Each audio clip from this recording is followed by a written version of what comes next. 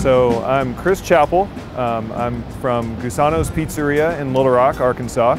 Um, I, my brother uh, Tim Chappell is the owner of the restaurant, and so um, I'm sort of a jack of all trades, but essentially I'm working with him to uh, focus on back of house systems, but also he brought me on to help with um, training, a considerable amount of training. He, he understood even before he came to Pal's uh, five, six months ago that training was of utmost importance to have the restaurant running well and to really help our, uh, I mean, help our customers uh, to have the best experience possible.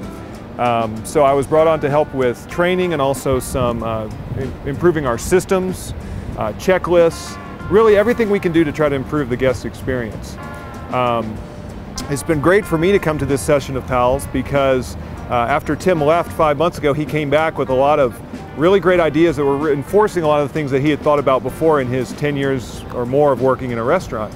And so for me, it's really fun to come today and yesterday to the training because so many of the things that he has brought back to, uh, to us at the restaurant, I'm seeing um, how that was trained to him and how that is folded in. So some of the fun ones, you know, when he comes back and we say, well, we've got a, you know, Tim, I've got a, um, a, a staff issue I need to work through. And he said, he said, well, you know, it's not the staff member's fault. It's our fault for not having the right system. So when, when, when our trainers here brought that up today, it was, uh, I'd already heard that many a time that we need to improve our systems.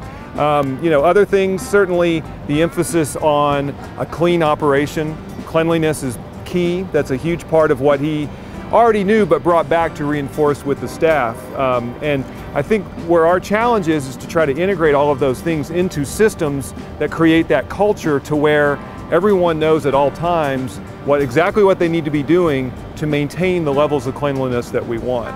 Um, additionally, I think one of the things that I've seen a big impact on the restaurant has been the orientation um, and that setting the expectations for how that staff member will be part of the team from day one. It makes things a lot easier when we can go back and look at the orientation and say, but look, you've agreed to uh, do this in the store as part of how we want to run this operation to give our customers the best experience. And so having that base has really helped in trying to do that. And so it, really it's interesting perspective for me because I've heard things from him that are now being reinforced by my being here, but we are seeing the result, good results of that happening already.